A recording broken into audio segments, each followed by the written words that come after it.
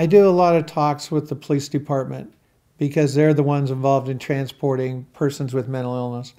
And when you start talking to them initially, they give you kind of roll their eyes and go, Well, I didn't become a police officer to be a social worker. Uh, I don't want to hear about a hug a thug program. And then you have to put a human face on it. And I talked to them about Kevin, and I talked to them about people they know, try to find out if they know people who have mental illness. And I think, too, when you see someone with a mental illness, like my son, you don't think that's going to happen to you. And so it's hard for you to have much empathy because you see somebody who's psychotic, who's on the sidewalk, who's screaming, who's possibly yelling profanities, and the policeman comes upon that, and their reaction, of course, is authoritative.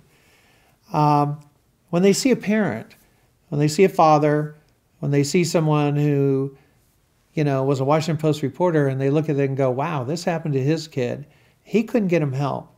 His kid was tasered um, while being transported to a hospital.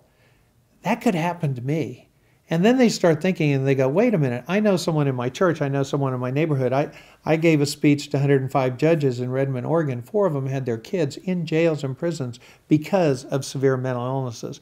And once they look beyond that to the human face, then you have a chance for empathy. And then you change the culture.